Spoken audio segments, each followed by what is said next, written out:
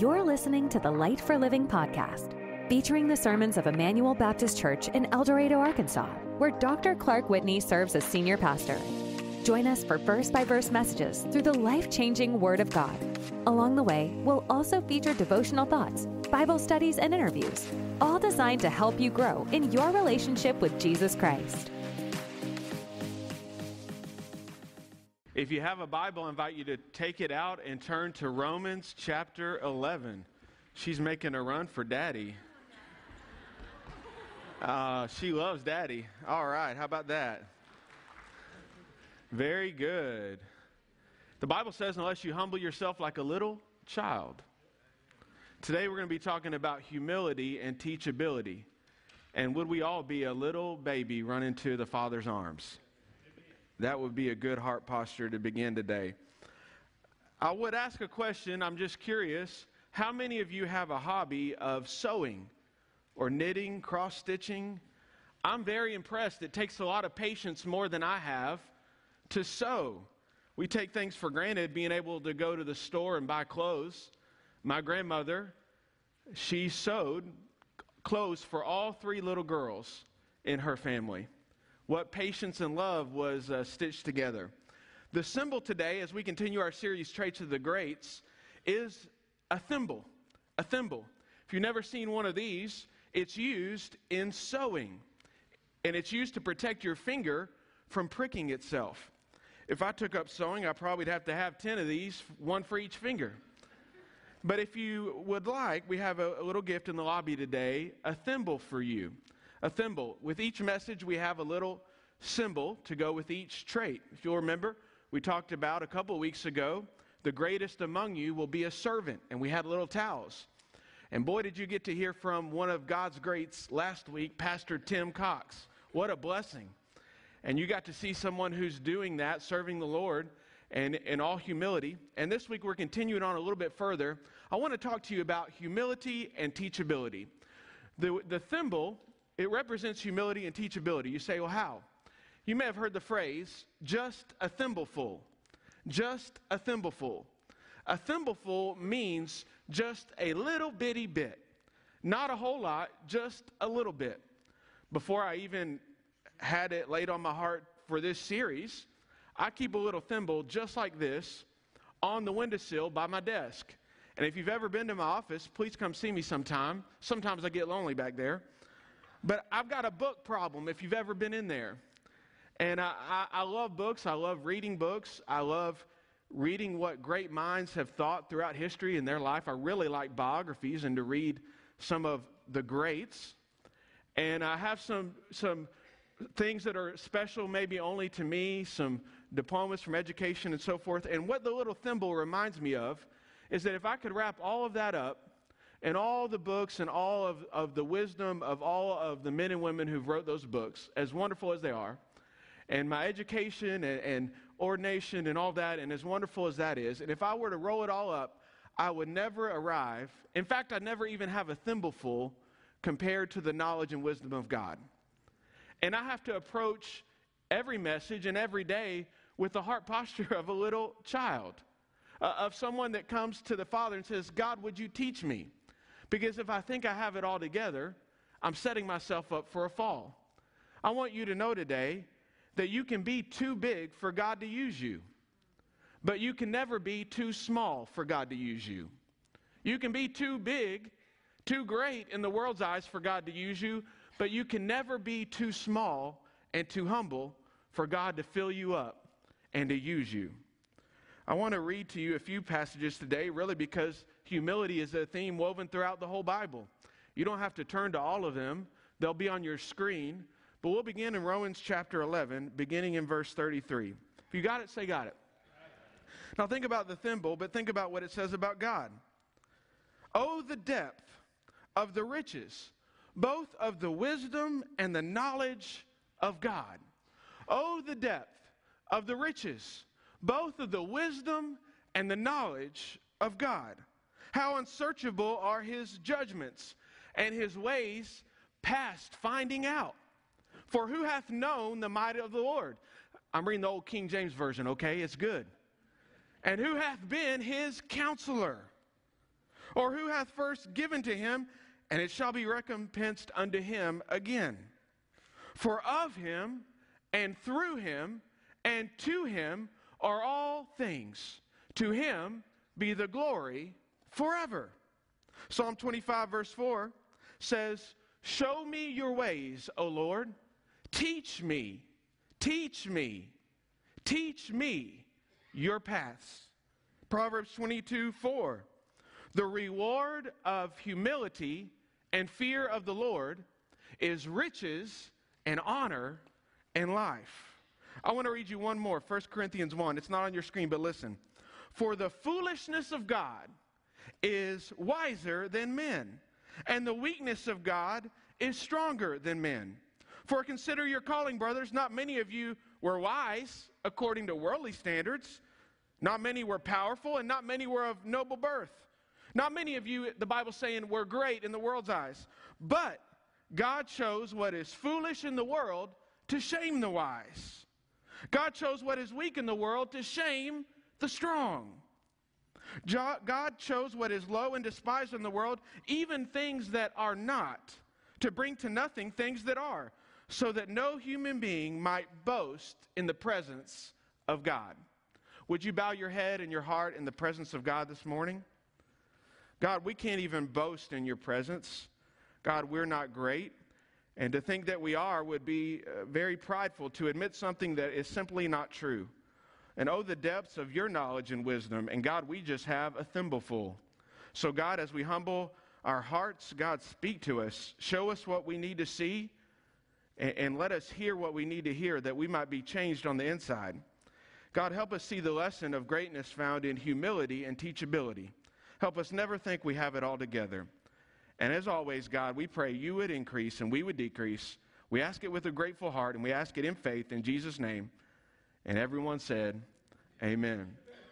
Well, I like going to Branson, and there's many things you can waste your money on in Branson. But I will give you a travel recommendation the next time you're up there. If you haven't been, go to the aquarium. Go to the aquarium. You can't miss it. It's on the main drag, which is by the Walmart. Go figure. There's a big giant octopus. Has anyone been to this aquarium?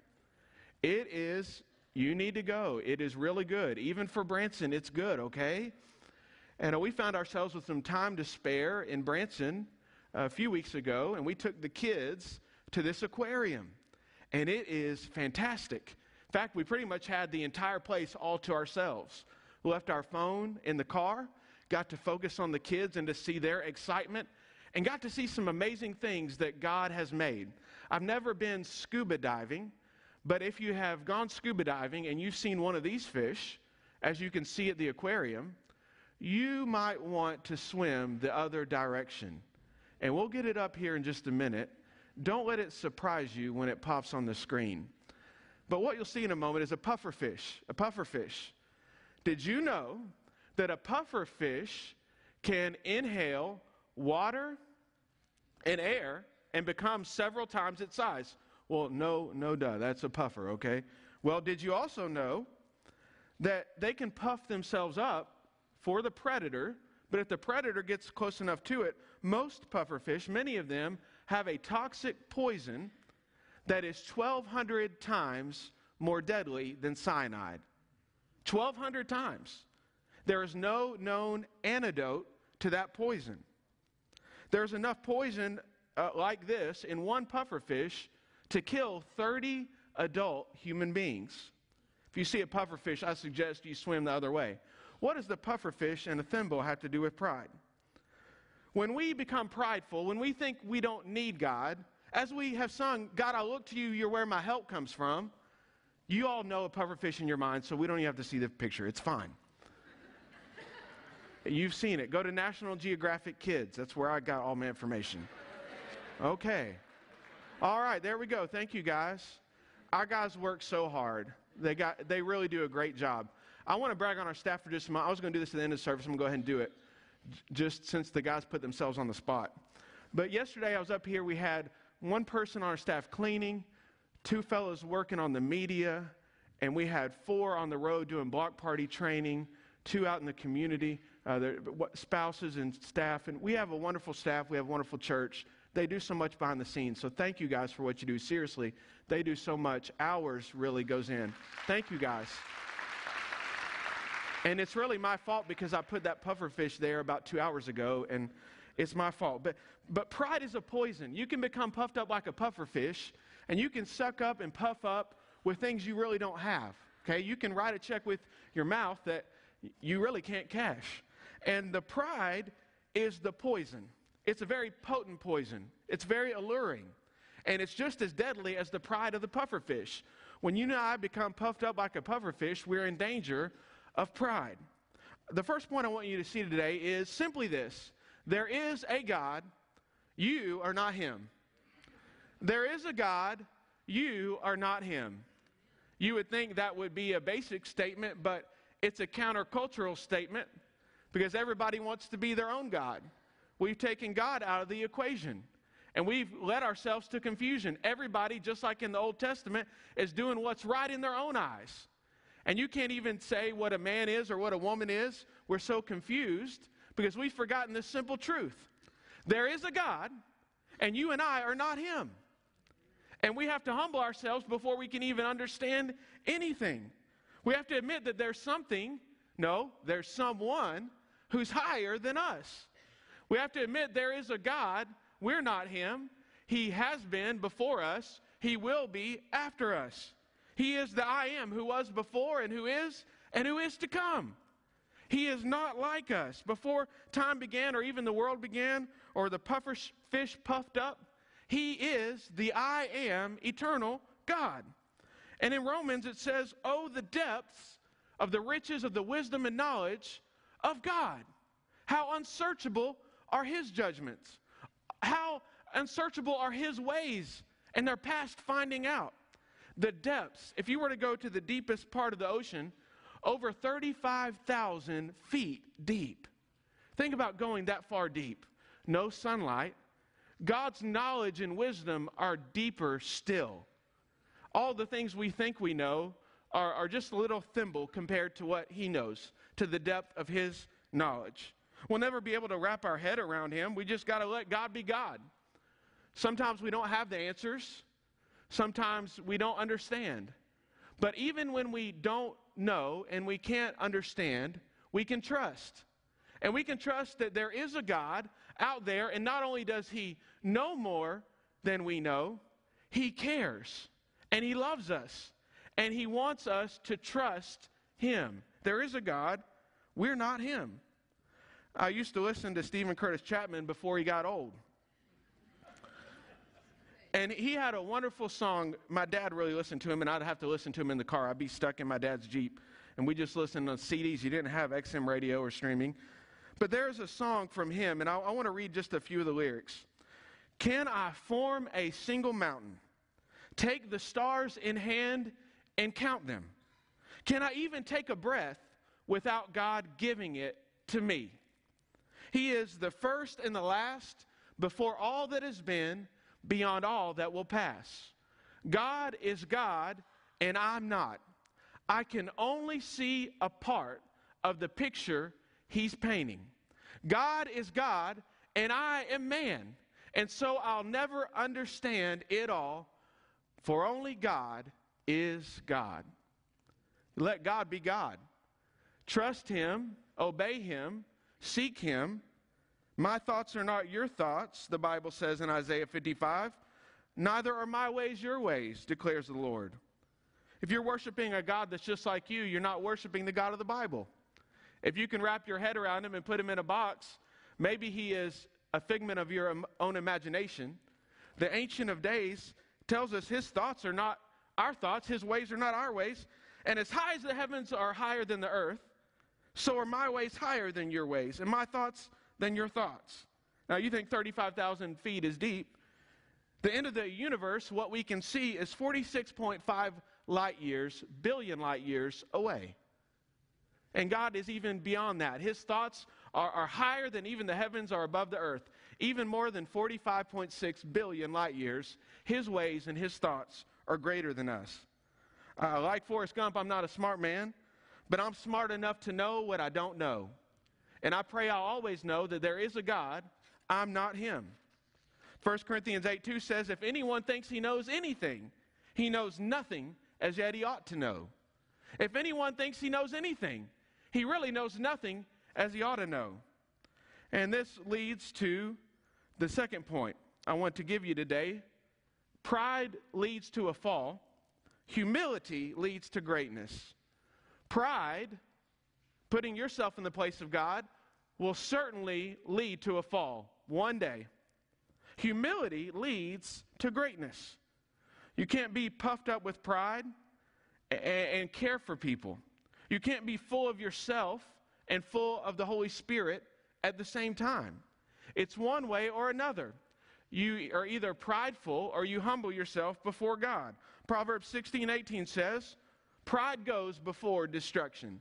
Pride goes before destruction, and a haughty spirit before a fall. You see, the prideful person says more than he knows, but the humble person knows more than he says. The prideful person says more than he knows. The humble person knows more than he says. A humble person sits down when others walk. A humble person listens when other people talk. And a humble person loves people even beyond their faults. Alexander the Great, he's known as the Great because in 13 short years, he amassed the, the, the greatest empire in the history of the ancient world at that time. The empire covered 3,000 miles from Greece to India to Egypt. And there was a poet that, that wrote after his death that the whole world had not been big enough to contain Alexander the Great. But in the end, a coffin was sufficient. The whole world wasn't big enough to hold his ego and his pride. But in the end, Alexander the Great was humbled just like each and every one of us. The paradox of success, whether it's in education or sports or business or even in spiritual success, is that the higher you climb, the more in danger you are of falling. The higher and higher you climb, the greater and greater you get in the world's eyes, the more and more in danger you are of falling because you're more and more in danger of attributing your success to yourself. And when you do that, you begin to puff up with pride. There's a temptation to say, I made it here on my own. But the Bible says that pride goes before destruction. One of the greatest pieces of advice I've ever heard about the ministry is that to be a pastor, you have to take your ministry seriously, but don't take yourself seriously. Take your job seriously, whatever you do. Take it seriously, do it unto God, but don't take yourself so seriously. If you do, you're setting yourself up for a letdown. Now, I want to give you an example of humility leading to greatness. Not Alexander the Great, but another great one, Sir Isaac Newton. We all know the story the apple falling on his head, discovering gravity. Here's what he said If I have seen further than others, it is by standing on the shoulders of giants. If you discover gravity, I think you know what you're talking about. If I've seen further than other people, Newton said, it's because I stand on the shoulders of giants. Now, you and I, whatever success we have in life, eh, hard work and persistence and perseverance, that's important. And doing our best and saying our best has been done, that's important too. But to think that any of us got where we are today without the help of somebody else and without the help of Almighty God is the epitome of pride. To think that I've made it, I did this, look at all that I've done for myself. No, no, no, no. You and I stand on the shoulders of giants. Who helped you? Who taught you your, your career, showed you the ropes when you didn't know what you were doing? Who was a teacher that helped you in school? When you first started following Jesus, who was somebody that, that lovingly encouraged you when you started going in the wrong direction? Each and every one of us have teachers and have people who help us. And most of all, we have God who helps us. And we can be too big for God to use us, but we can never be too small for God to use us. Pride leads to disgrace, Proverbs 11:2, but with humility comes wisdom.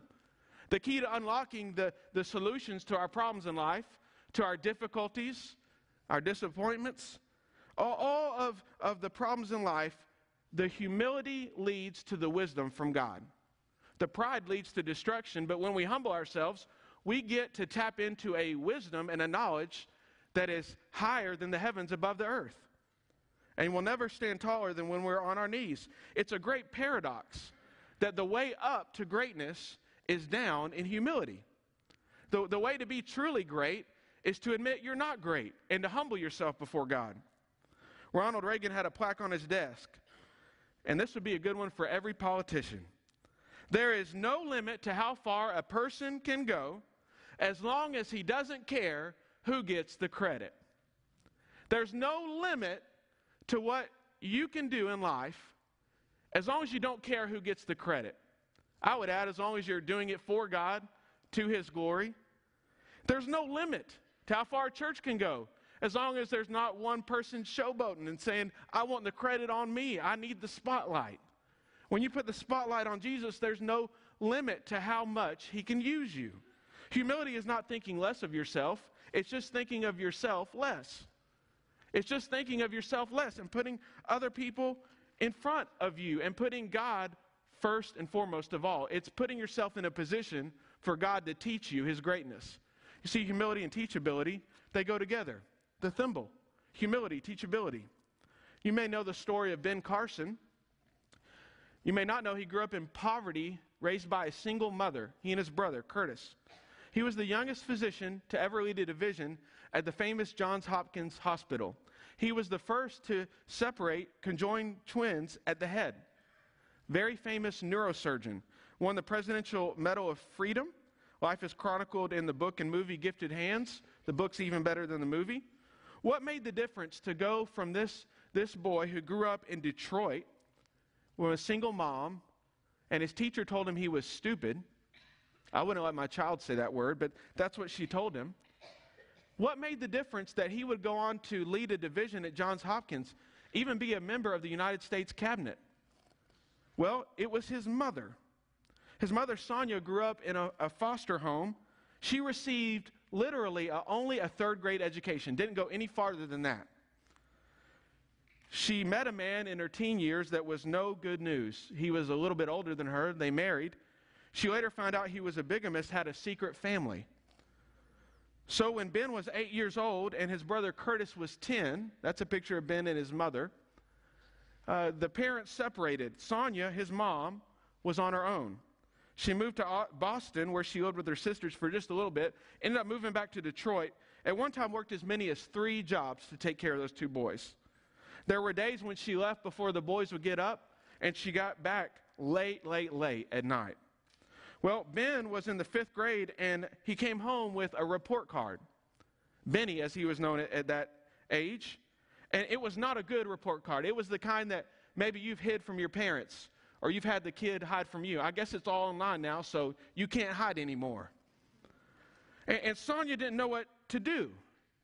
So she humbled herself. This lady of very humble means. She literally asked God, God, would you give me wisdom how to raise these boys? They're not going in a good direction. Well, she chose to limit her son's television shows to two a week. Kids, if you're listening, I pray your parents didn't hear that. Don't get any ideas, okay? Instead of watching the two, the two shows, that was the limit, she took them to the library. That simple choice changed their lives, Benny and Curtis. Each week, she required those boys, in addition to their schoolwork, to check out two books and to read them and to write a book report on what they read.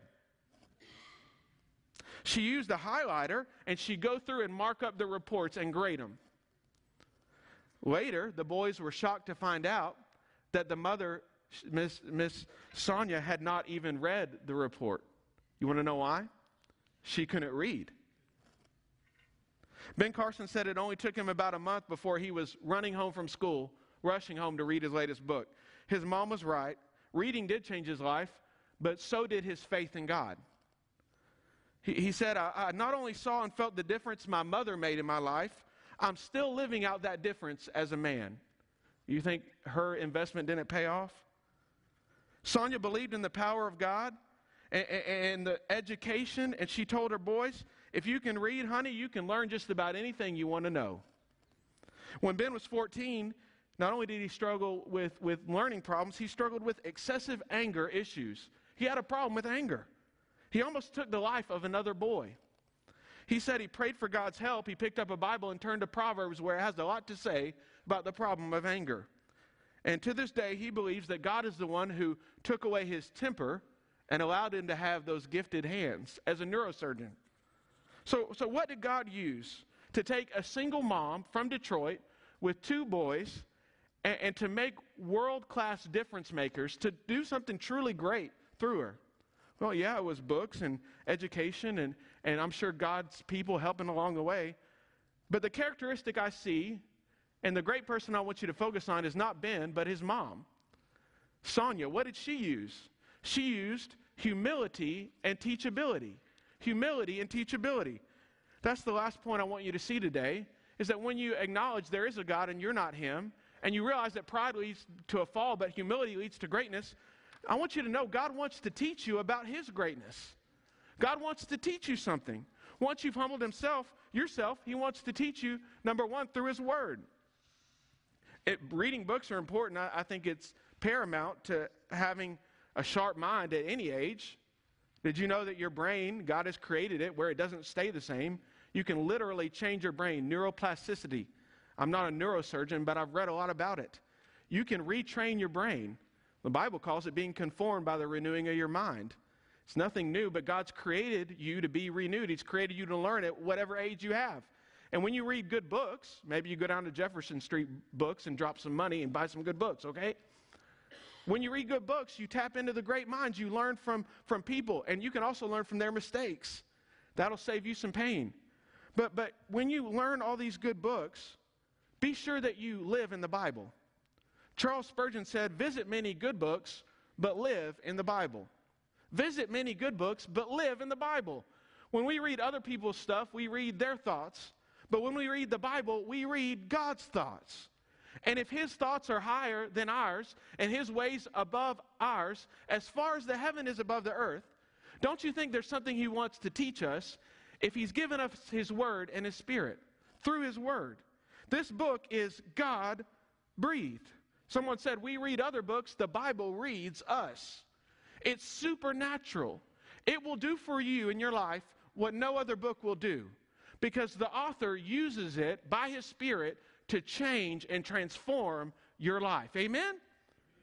Romans 15 4 says, Whatever was written in former days was written for our instruction, and that through endurance and through the encouragement of the scriptures, we might have hope. If you want to know what God wants you to know, but more than that, if you want to have hope for the situation you're facing, God has given you the Bible. It's written so that you might have encouragement through the Scripture. The thimble to me also represents God's Word, that I'll never know all of God's Word. I'll never have it all figured out. I come to it each time I need to come to it like a little child and say, God, teach me.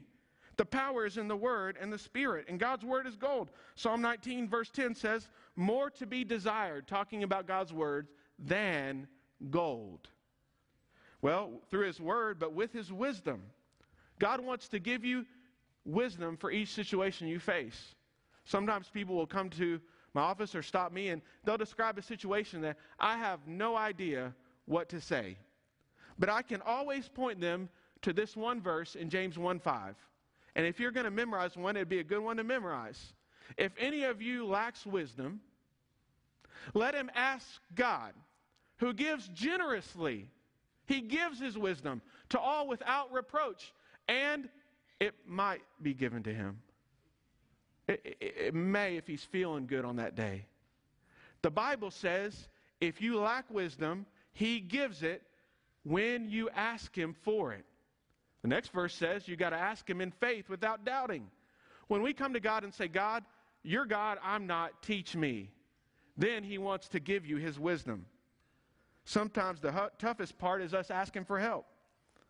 But not only does he want to teach us through his word with his wisdom, by his spirit, by his spirit. The Holy Spirit is the master teacher. And when you're saved, you're indwelt with the Holy Spirit. That's what the Bible teaches. That God comes to live inside of you through his spirit. Not that you're perfect, but that he's renewing you and he's changing you to be more like Jesus. That you're not staying the same because he's doing a work of grace in your life. And Jesus said, before he died, I'm going to leave you to his disciples, but I'm not going to leave you as orphans. In John 14, 26, he said, I'm going to send a helper, And the Helper, the Holy Spirit, whom the Father will send in my name, he will teach you.